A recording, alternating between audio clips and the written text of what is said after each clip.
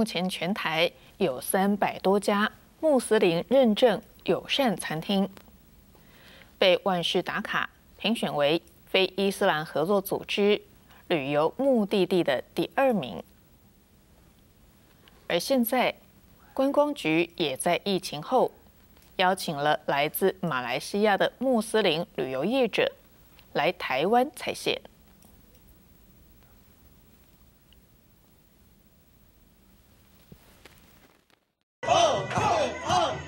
来自马来西亚的旅客第一次体验做麻薯，都觉得非常有趣。彩线团成员这一次行程以南台湾为主，飞抵高雄后就前往旗津逛老街搭渡轮，下午安排搭船游爱河，隔天前往嘉义在农场体验采茶。Now we are in Alisan Mountain in the Tea Valley, so it's very beautiful, uh, very different cultures. How about 高雄 also? Caution is the must now.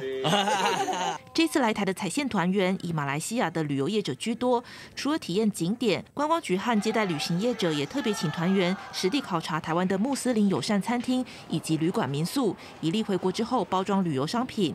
目前台湾已经有三百多家符合穆斯林友善认证的餐厅。也可能在疫情期间，确实是因为没有观光客来嘛，或许还是有些餐厅没有办法继续营业。那就目前统计的部分，我们有辅导的餐厅还是有增加了。观光局不会言，在疫情期间，餐饮业受创严重，在疫后重启旅游，稳定的穆斯林旅客将是业者的重要支柱。观光局将加强海外宣传，希望二零二三年穆斯林旅客回流比例能达到疫情前的百分之五十。记者徐林坚台报道。